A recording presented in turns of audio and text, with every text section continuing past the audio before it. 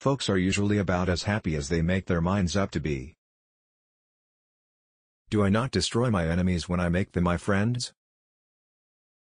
My best friend is a person who will give me a book I have not read. America will never be destroyed from the outside. If we falter and lose our freedoms, it will be because we destroyed ourselves. My concern is not whether God is on our side, my greatest concern is to be on God's side, for God is always right. A success today because I had a friend who believed in me and I didn't have the heart to let him down. Books serve to show a man that those original thoughts of his aren't very new after all. When I do good, I feel good.